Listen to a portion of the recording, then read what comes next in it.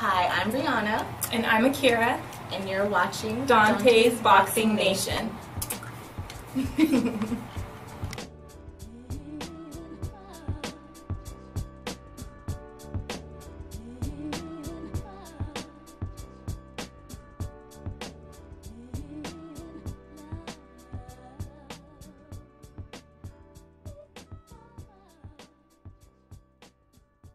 Dante's Boxing Nation, what's going on, guys?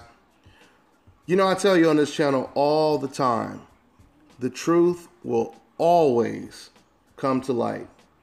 The truth will always break free. You can lock the truth up, you can throw away the key, and the truth will always find a way to break free. And lately, we've been getting a lot of truth. We've been getting boxers speaking up and talking about the double standards that exists in the sport of boxing. Things that you guys have been hearing me talk about since day one, you're starting to hear boxers talk about. Matter of fact, speaking of that, I want to go ahead and issue a verbal disclaimer right now. Because in this video, I will be talking about double standards and racial double standards. So if that's something that doesn't concern you, if you don't care about that kind of stuff, this is your opportunity to stop the video right now and go watch another video. Matter of fact, you could even unsubscribe if you want to. Because quite frankly, the message is for the people that want the truth and the whole truth. It's not for the ignorant. It never has been for the ignorant. Okay? With that being said, let's go ahead and uh, quote exactly what Andre Ward had to say about this situation. So, of course, Andre Ward, he was talking about the pass that Gennady Golovkin gets. And I'm going to elaborate on that after I read what he had to say. Let's go ahead and get into it. So, this is what Andre Ward had to say. Quote, the reality is he gets a lot of passes. Golovkin gets passes. Can you imagine me being in a fight with a guy two weight classes below me getting touched like that? We see the hypocrisy. We see the different things going on. We just choose to keep quiet and we're already moving on. I'm already over the guy. If the situation makes sense, then he can certainly head up and come get it. But I'm not going to be making any concessions. That time is over with. We were going to do that. That time has passed, and that's over and past. Once again, everything that you just heard Andre Ward say is what I have been conveying to you guys since day one. I thought it was interesting that Andre Ward, he said Golovkin, he gets a pass. I've been telling you guys that pass is called hope insurance. Gennady Golovkin, he has his hope card. So that insurance, it covers him from any type of criticism, from any type of double standards when it comes to the vast majority of boxing fans. Don't get me wrong you have a lot of professional boxers and trainers that are coming out to criticize Gennady Golovkin when it comes to his level of competition, when it comes to him not stepping up in weight. When it comes to these things, a lot of people have stepped up and talked about it. But when I say he has a pass, he has a pass by the majority of boxing fans. And some of the biggest boxing fans are members of the media. People like Dan Rafael that represents ESPN. These are the ones that make sure they keep fighters like Gennady Golovkin covered. They make sure his hope insurance serves him the proper way. Let me give you a perfect example when it comes to Dan Rafael. So, Andre Ward is a gold medalist for the United States of America. Okay? We have an American gold medalist. The last man to win a gold medal is Andre Ward. Dan Rafael is an American reporter. Andre Ward fights twice in his own country. The first time he fought, he actually moved up in weight to fight an undefeated Sullivan Barrera. That fight was, a, was considered a 50 50 fight going in. On top of that, with very little exposure and promotion, a million people tuned in to watch Andre Ward step up and wait to face the undefeated Sullivan Barrera. Do you guys know that Dan Rafael, he didn't even bother to show up and cover the event? He didn't even show up to cover the event. And we knew that when he didn't show up to cover Andre Ward's second fight, which, which was against Alexander Brand, then we knew it was intentional. We knew it it wasn't a situation where there was an emergency and Dan couldn't make it. He decided not to show up. Now just think about how hypocritical that looks. Dan Rafael, do you know that when Golovkin, a fighter who's not American, when he fought against Willie Monroe, Dan Rafael showed up at that fight. A fight that was considered a gross mismatch, right?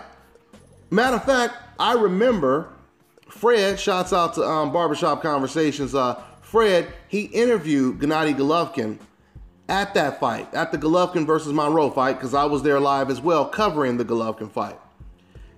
And Fred interviewed Dan Rafael. He said, Do you think Willie Monroe has a chance?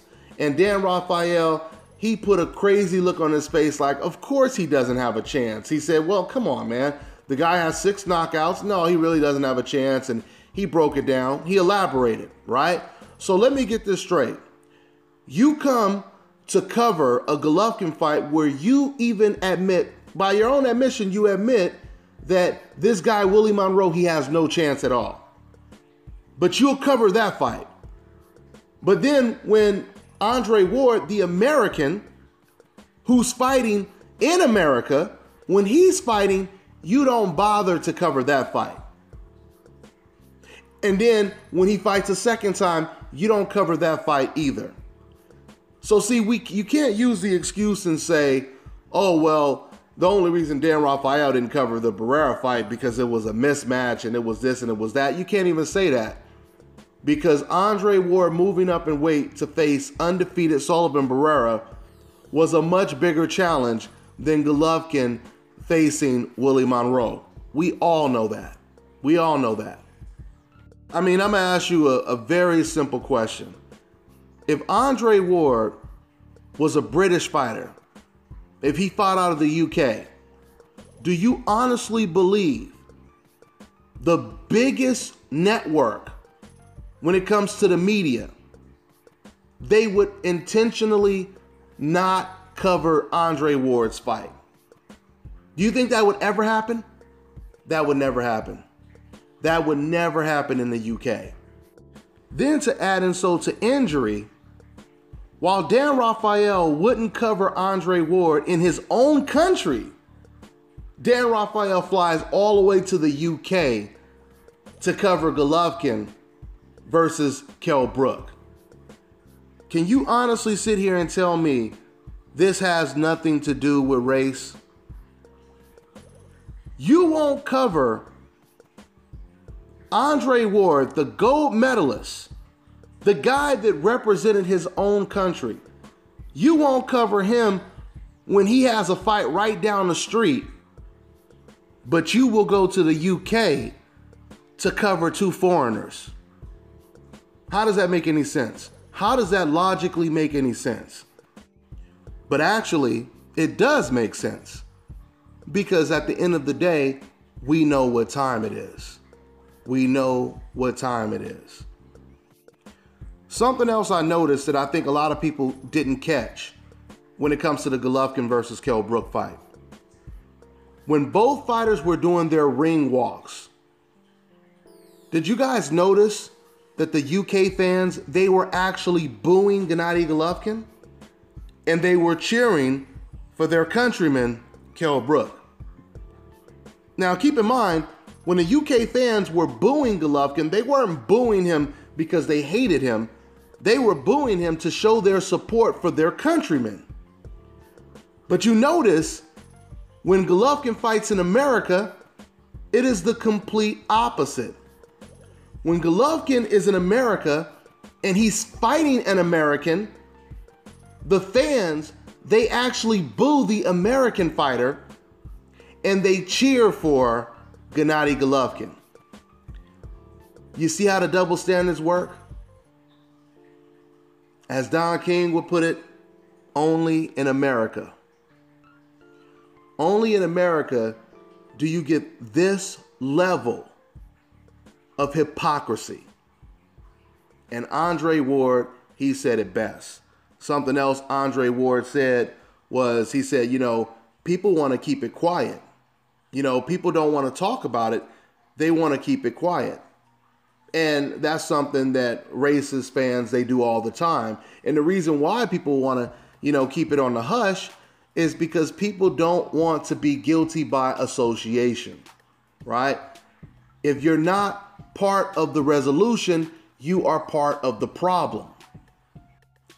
And unfortunately, in the sport of boxing, the majority of fans are decafs.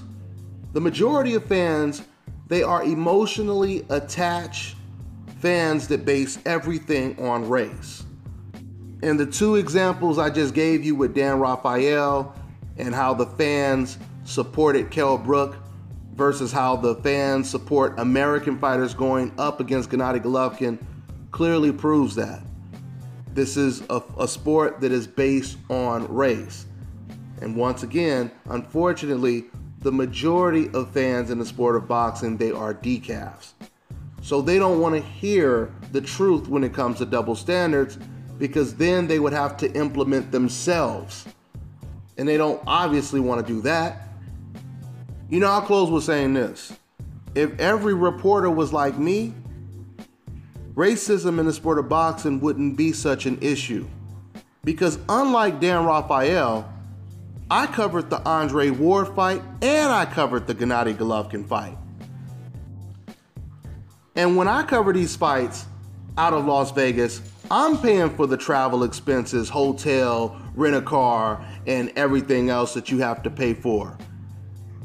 What's so sad is Dan Rafael, he doesn't even have to pay to cover these fights. And he still doesn't cover an Andre Ward fight. What does that tell you about Dan Rafael?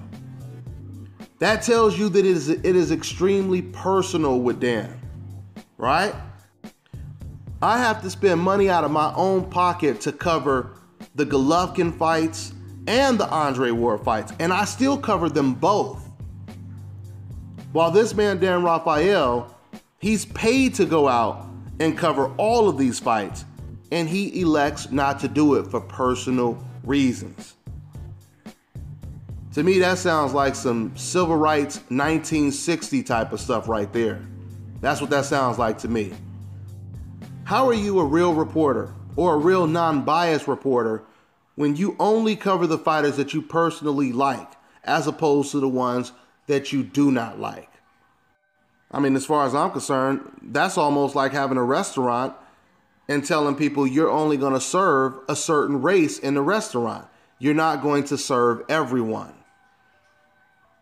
When it comes to Dan Rafael, he refuses to serve everyone. But it gets worse for him because he refuses to serve his own countrymen. But he will serve foreigners. Now, what I just said right there, that makes me think about when the soldiers in World War II, when the black soldiers went over to fight for America and they were fighting the Germans, when they caught some of those German POWs and loaded them up on the bus, do you know that the white American soldiers, they made the black soldiers sit on the back of the bus so they can accommodate the German prisoners of war by letting them sit in the front of the bus. Right? Once again, Americans treating foreigners better than black Americans. Exactly what we are getting today when it comes to Andre Ward and other fighters on the coincidental list, thanks to people who have serious influence in the sport of boxing, like Dan Rafael. Thanks to people like Jim Lampley, Max Kellerman, And the list goes on and on and on. But I tell you this at the end of the day, it doesn't matter how many boxing fans people like Dan Rafael try to indoctrinate. You could push whatever type of agenda you want to push, but you cannot make certain fighters that you like better. Because when you get right down to it, these fighters, when they get in the ring, no one can help them. ESPN's Dan Rafael, Jim Lampley, Max Kellerman, no one can help these guys when they get in the ring. Like Teddy Atlas said, that ring is the truth machine. And we're going to find out who the best is at the end of the day. No matter what you try to push, no matter how much red meat you throw to the boxing fans, we are going to find out the truth when these fighters get in the ring. You don't have to like these guys, but you will have to acknowledge their greatness when they prove how good they are. That's all I got for now, guys. I'm on to the next one. This is Bobby, and you're watching Dante's Boxing Nation.